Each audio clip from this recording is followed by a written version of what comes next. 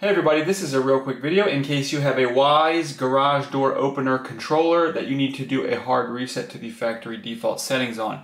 Now you're going to want to do this for one of two reasons. The first one is troubleshooting. If this opener is not connecting to your Wi-Fi or it's not syncing or pairing with whatever devices or apps you're trying to use it on, or otherwise just not working, a factory reset can fix a lot of these issues. The second reason is if you're trying to set this up on a new in a new garage or in a new situation, even on a new network, um, a factory reset can clear everything off of here so that we can just get a fresh start. So the one thing, if we want to do this, what we need to do first of all is we're going to go ahead and remove the SD card from the um, from the camera if it has one in it. And then we're going to go ahead and power cycle um, the garage door controller and the camera and everything like that. And then plug everything back in.